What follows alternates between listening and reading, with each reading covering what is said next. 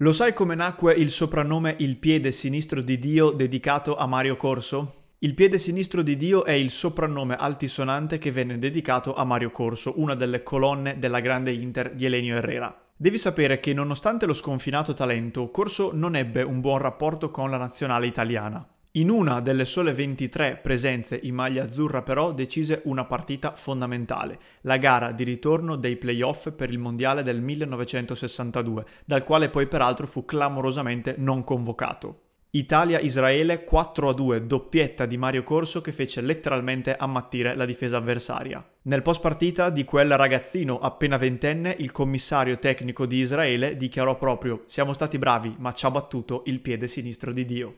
Per tante altre storie e curiosità sull'Inter iscriviti subito al canale.